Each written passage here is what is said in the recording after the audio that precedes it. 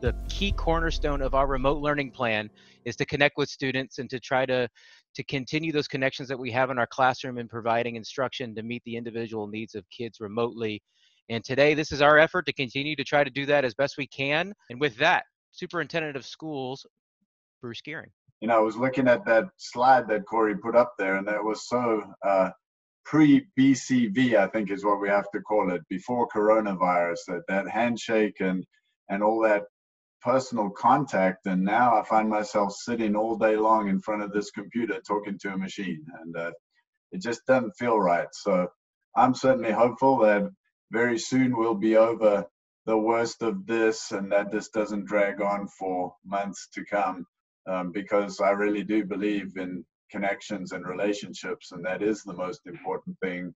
And we want to be sure that we continue that with our students and with our faculty and and with our families as we as we work through these challenges. These are absolutely unprecedented times. I've never seen anything like this in my life, and uh, we're having to be innovative and creative and invent ourselves every morning when we wake up to make sure that we get through the challenges that face us each day.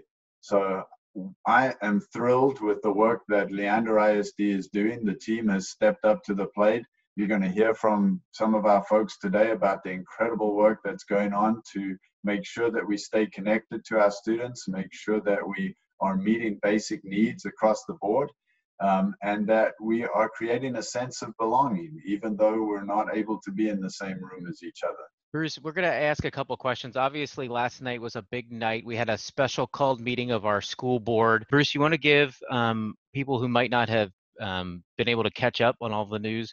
What were the action steps of the board? And then let's have Dr. Bentz and our teaching and learning team um, give some more details about um, the work that went into making the proposal that the board eventually approved. So last night at the board meeting, um, we did three things essentially.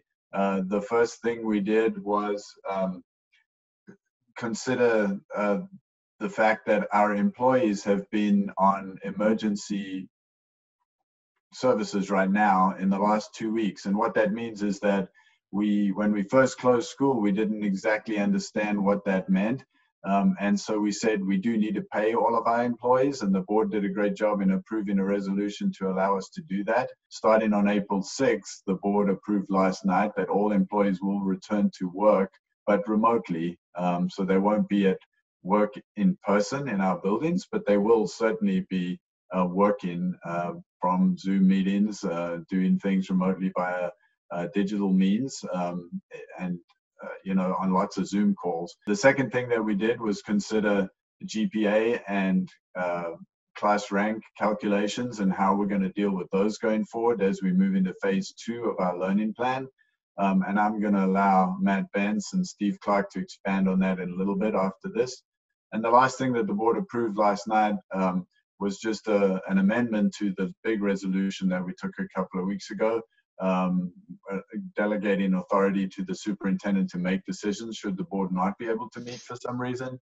Um, but just making sure that any waivers that we approve during this process, that we take those back to the board for ratification um, as soon as possible after they've been made.